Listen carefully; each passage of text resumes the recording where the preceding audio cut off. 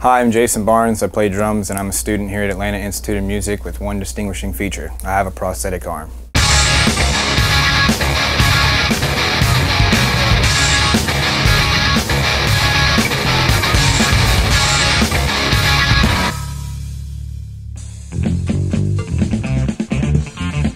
Well, I played drums since I was 15, so it's going on eight, nine years now. Um, I played for, I started off playing um, a lot of blues and jazz stuff. Um, kind of got more into metal, and from, from there I kind of went straight into reggae rock, blues kind of feel stuff. He comes from a musical family. His father is a professional musician, he's a guitar player. And although when Jason was raised when he was little, his father wasn't playing music, but he definitely had it in his blood. And my father, he wasn't a musician, but he had an incredible ear for music, and um, he's just got it in him. I got really interested in going to AIM uh, fall winter of 2011 and I had heard about it from just a lot of mutual friends and, and a lot of bigger musicians that I knew of had all graduated from AIM and uh, it sounded like a really great school. And so I went there, went for a tour around the school, got everything set up for an audition, which was, I want to say it was scheduled sometime around January 12th or something like that, um, which was three days after I had got electrocuted, so I never made it.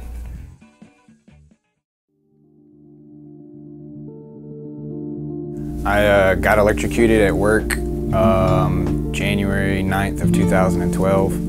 I uh, used to clean restaurant vent hoods, um, the exhaust, um, anywhere from the kitchen to the ducts to the fans on the roof.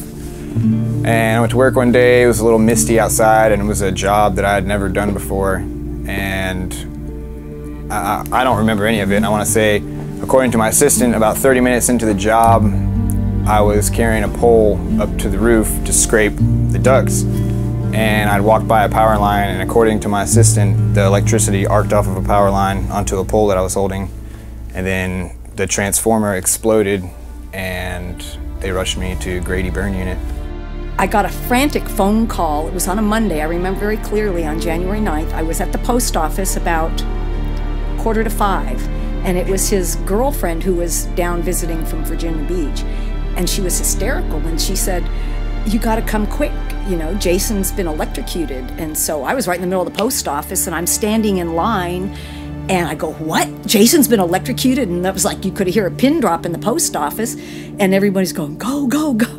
You know, it was, and so I kind of dropped what I was doing and, and told Amanda I'd pick her up because she was on the way. And I said, Well, where is he? He got rushed off by an ambulance. And so we kind of worked out that he was going to Grady. I woke up in the hospital. Um, Uh, yeah, about a day and a half, two days after that had happened, and I had no idea what happened to me. I was just burnt and crisp, and I thought that I was in some kind of explosion or a fire. And everybody had to explain to me that I'd got electrocuted and, and everything, and I don't even remember going to work that day at all. We kept calling the hospital the whole way there. There's no Jason Barnes here. There's no Jason Barnes here. Thinking, well, maybe he's been taken to a different hospital. And we kept calling. And so we got to, finally got to the hospital. We'd called five minutes before and they hadn't, still, there was no Jason Barnes. So we went in there and I said, Are you sure? And they said, He's just been admitted. He's in the triage room. You can go see him. And uh, so we went in there and there was Jason on, on the table. This whole side of his face was burnt hair singed off, eyebrows, eyelashes. I didn't really have any experience with electrocution or anything, and, and the doctor said, Well, we're getting ready to rush him off to surgery. And so they took Jason off to surgery, and it was maybe seven o'clock at night. Meanwhile, we're in the waiting room, waiting. Finally, it was late at night, and they let they let um, my, his older brother and myself go in and see him, and it, it broke my heart and even then, though, we had no idea what kind of ride we were going to have. You know, I just thought, okay, you know, he's in the burn unit, you know, not still not realizing the severity of what happened. After about seven surgeries of debriding on my hand, they had just realized that my two main arteries were completely shot and it wasn't supplying blood to my hand. And if I decided to keep it, it would be a really, really long process, and I'd be lucky if I could, you know, barely move my fingers again. So I just kind of was the one to tell them, you know, what, honestly, what is the better idea here? What is the fastest way to get up and out of this? The doctor did tried so hard, Dr. Ingram, to, to save his arm, you know, help Jason through all the burn damage. And I mean, Jason had holes in his back, you know, where the electricity came out and big scars. And I mean, it was, it was pretty awful. Yeah, I shouldn't even be alive, honestly, according to all the doctors. Going in my hand, it should have should have stopped my heart. I should have brain damage, um, a lot of internal failure. A lot of people get from taking that much electricity. When Jason realized, you know, that this was it, you know, we got the doctors in there and he said, and it was, you know, coming from somebody so young and so drugged up from all the medicine he's had and so many surgeries. And he said to the team, he said, okay, docs, level with me. You gonna make this hand ever work? They all kind of looked around and there was a whole team of them and they said, no. Jay said, okay, we're gonna cut it off.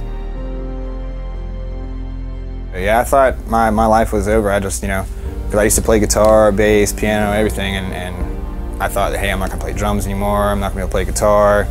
And you start thinking of all the little little things that you can't, you know, do with one arm.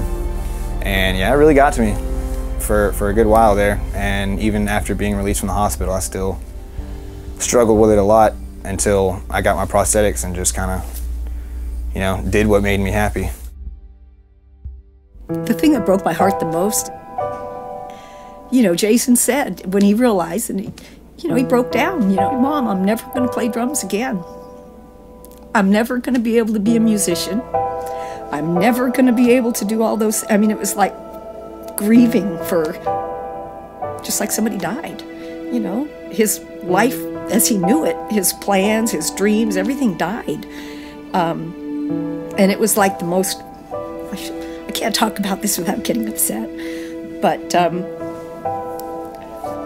we, we got through it the human spirit and especially Jason's spirit, you know, he's like his mom, that you can't let a crisis define your life if that's where your life is, you know, and that's who you are. And, you know, he not only barely got home from hospital, it wasn't even a week later, you know, still bloody stump, bandages, nothing, no prosthetics, anything. And he drug his drum kit out of the garage and uh, set it up, just his couple of drums, set them up on the back porch taped a drumstick to his bandages to see is it possible that I could still somehow play drums? And um, he played for a few minutes under excruciating pain because, I mean, his amputation was still so fresh. And um, I can do this. So he says, I can do this. And I'm just so proud of him and the fact that it's a miracle that he's here at AIM because our whole life in this last year has been so traumatic and, and everything's just been on blind faith, hope, and prayer. And he shouldn't be here. We don't have the money, we can't afford it, but it's his dream. And and he's got such talent.